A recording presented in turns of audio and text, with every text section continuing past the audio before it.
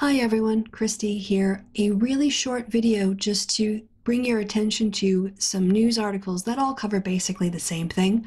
I first learned about this story from the BBC when I saw its headline Internet Troll Jailed Over Tweets to Leanne Wood.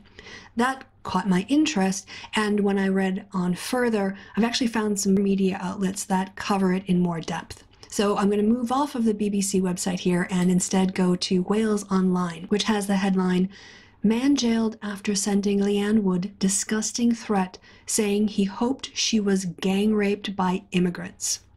A man who tweeted to say he hoped Plaid Cymru leader Leanne Wood would be the victim of a gang rape by immigrants has been jailed. David John Begley from Swansea sent the message to Ms. Wood from his Twitter account, DJ Begley UK.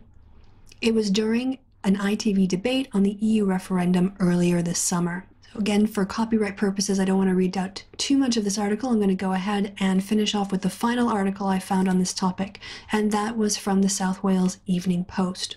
The 47 year old described himself on his Twitter profile as a house DJ and promoter for Trojan Horse music. He admitted to sending a communication conveying an indecent or offensive message when he appeared at Swansea Magistrates Courts.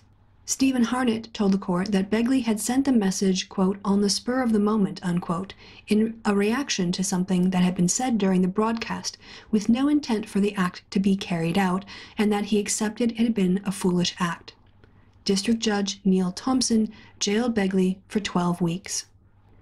This, to me, is quite an important piece of information. It shows that just because you say something on the internet under your claim of free speech does not mean that your speech will be consequence free. And when you write offensive and indecent things to people, then you may be held accountable. And I hope, to be honest, more often when people write these horrible things, that they are held accountable. So, from me to you, a little piece of information. I've been Kristi, you've been awesome, and look forward to lots of content coming from me in the very near future.